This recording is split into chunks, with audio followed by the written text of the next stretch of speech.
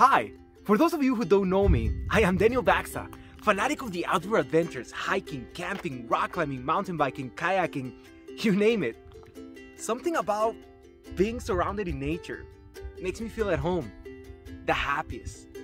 For the last four years, I've been in the United States Air Force, where I met some of the greatest friends and people. I was able to travel to another country, got to see other cultures, and take with me an experience that will last a lifetime. But after four years, I am ready to move on and indulge into my next chapter of my life.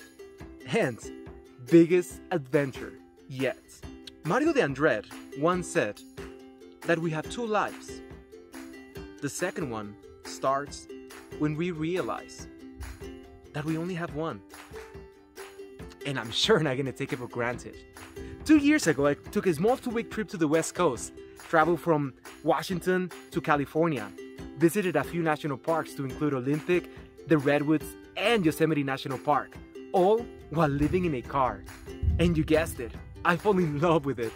As an outdoor travel enthusiast, I decided I had to try this again, only this time in a much bigger scale. So I came up with a crazy idea of traveling around the United States, and it became my number one obsession. And sure enough, top of my bucket list. So for the last few months, I've been preparing myself for it. I went from this to this. I created my own map with plenty of destinations across the country. I got the American Beautiful Pass that gives you access to all of the national parks in the US.